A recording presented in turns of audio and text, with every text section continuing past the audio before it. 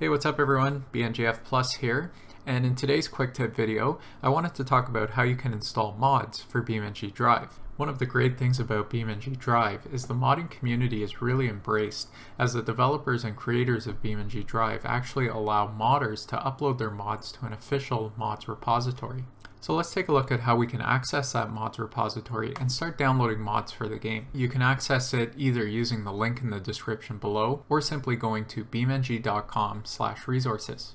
Taking a look at the page here over on the left hand side, you can see a number of categories, whether you're looking for vehicles, scenarios, maps, etc. In the center here, you can find some featured resources. These are resources that have been uh, handpicked by the developers, um, and they tend to be a little bit higher quality. So if you're looking for some mods to get you started, I definitely start by checking out some of these. And then below that, sorted by last update, are a list of all of the mods as they're submitted. So you can either sort these by last update, submission date, ratings, downloads, or title. So once you find a mod that uh, you think you would like, you can go ahead and click on that. And there's a few options here. You can subscribe to it, you can view it in-game, or you can just download now. In my personal experience, the simplest way to get mods and get started in the game is just to use the download now option.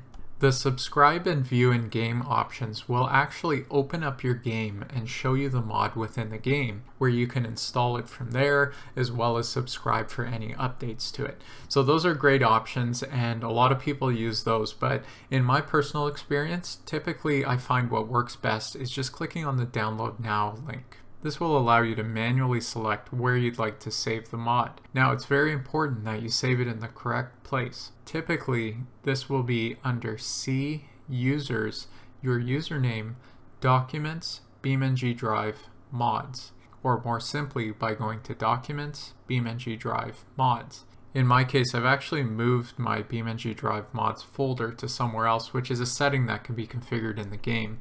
But by default, you'll want to save it under the default directory of Documents BeamNG Drive mods. It's also important to note that once you save the mod file, it's going to save as a zip file, which you are not going to unzip.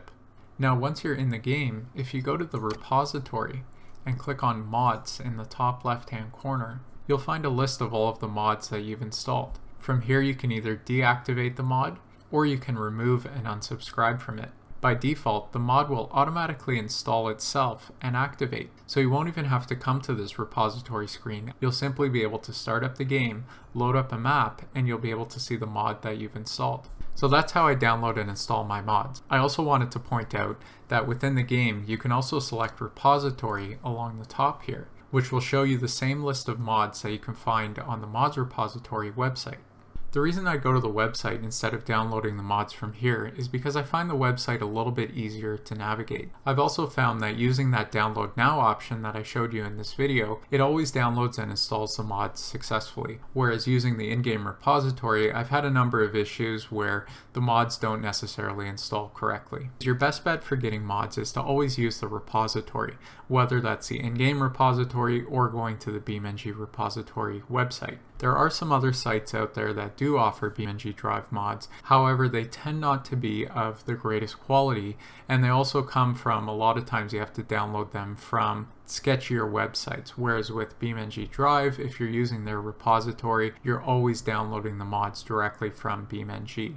Your best bet for quality mods is to always use the official BeamNG repository. I've also included some links in the description to some of the official documentation which will walk you through the process as well. But I do hope this video helped you, uh, especially if you're getting started uh, playing BeamNG Drive. Uh, I'm just showing a few clips here of some of the mods that I've downloaded. I also plan on doing uh, a video in the future highlighting some of my favorite mods. So again, if you're getting started playing BeamNG Drive, um, you might want to check this out, which will help get you started. But again, hopefully this helps you out, and uh, let me know in the comments if you have any trouble or if you have any questions for uh, or feedback for future videos. Thanks for watching and uh, we'll see you on the next video.